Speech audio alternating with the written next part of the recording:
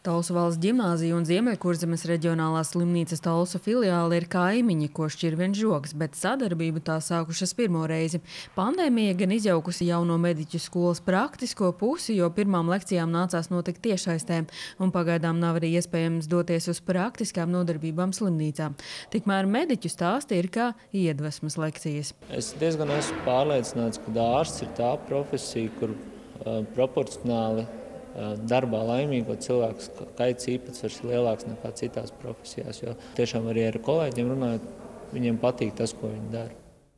Ik gadu vairāki Talsu valsts ģimnāzijas audzēkņi izvēlas likt eksāmenus ķīmijā, fizikā un bioloģijā, daļa turpina medicīnas studijas. Pērni tie bija astoņi. Lai palīdzētu sagatavošanās procesā, mācību iestāde pirmo reizi organizēja jauno mediķu skolu.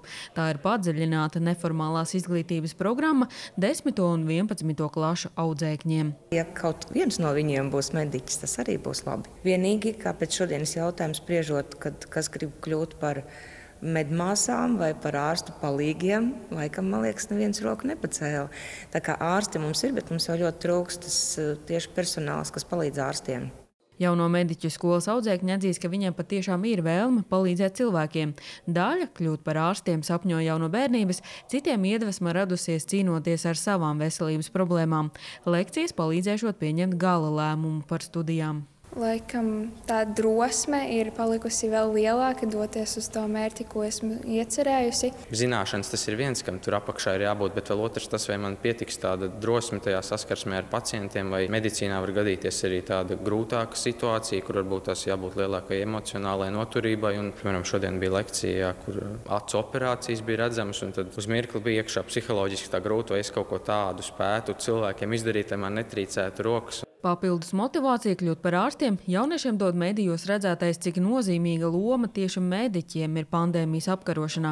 Protams, ir ārstiem ir ļoti grūti šajā laika periodā, bet eh, mēs redzam to, ka tas nav neiespējami būt, būt tajā visā iekšā. Es varbūt ar saviem pūliņiem varu būt kādam cilvēkam par lielāku svētību, par tādu tiešām palīdzību. Tad, tas arī ir, cik es esmu arī klausījies dažādu mediķu intervijas, tad tu vari saprast, ka jā, tas cilvēks, lai cik varbūt tās maziņš vai liels būtu, tas viņa darbs medicīnā, tas cilvēkiem, man liekas, tagad pandēmijas laikā ir ļoti vajadzīgs.